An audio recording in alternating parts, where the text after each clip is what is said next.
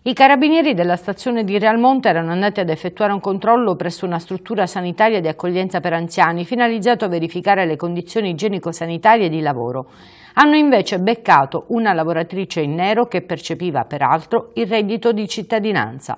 Si tratta di una donna di 40 anni di Porto Empedocle che durante il controllo dei militari dell'arma è stata sorpresa a lavorare nella struttura come inserviente, seppure senza un regolare contratto di lavoro. Durante i successivi accertamenti è emerso l'aspetto più grave della vicenda, ossia il fatto che la donna percepisce il reddito di cittadinanza ammontante ad alcune centinaia di euro mensili.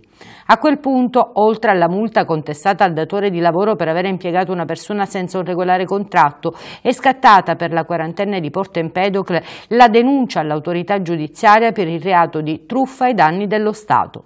I militari dell'arma le hanno inoltre sequestrato l'apposita tessera che consente di incassare e fruire ogni mese del reddito di cittadinanza.